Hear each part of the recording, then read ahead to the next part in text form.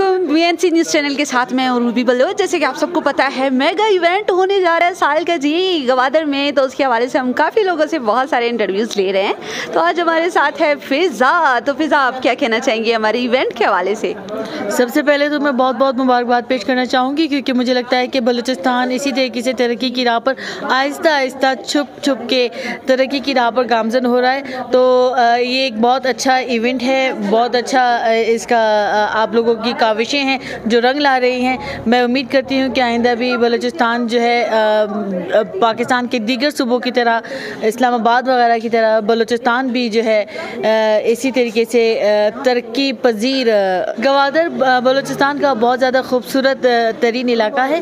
वहाँ पे टूरिज़म के हवाले से काफ़ी काम किया जा रहा है और वहाँ पे रिहायशी प्रोग्राम्स भी चल रहे हैं। मैं चाहती हूँ कि मैं जल्दी से कैसे भी करके जल्दी से जाऊँ गवादर, लेकिन ये इवेंट जो है, इसकी जो टाइम है वो ज़रा काफ़ी दूर है। तो मेरी यही कोशिश है कि बस जल्दी सी डेट आ जाए और मैं पहुँच जाऊँ Gwadar. I am so much excited